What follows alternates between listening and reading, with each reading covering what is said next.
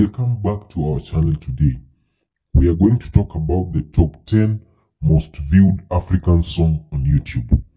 You and I have both realized that African music has been on the rise since 2020 with the likes of Rema, CKay, Wizkid and Davido. Let's get into the video.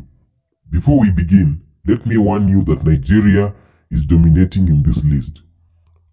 At number 10 is Ye by Burna Boy from Nigeria with 230 million views. At number 9 is Joro by Wizkid with, from Nigeria with 233 million views. At number 8 is Fall by Davido from Nigeria with 261 million views. At number 7 is Baby on Fire by Die Antwoord with 267 million views. At number 6 is On the Low by Burna Boy from Nigeria with 327 million views. At number 5 is Love Nwantiti by CKay from Nigeria with 380 million views.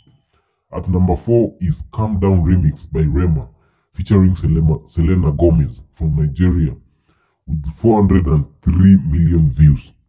At number 3 is Magic in the Air by Magic System featuring Chawki from Ivory Coast and Morocco with 418 million views. And at the top 2 is Calm Down by Rema with, from Nigeria with 436 million views. And taking the top position is Jerusalema by Master KG with 554 million views. So it's safe to say that Master KG has the most viewed song in the African content. Thanks and remember to subscribe.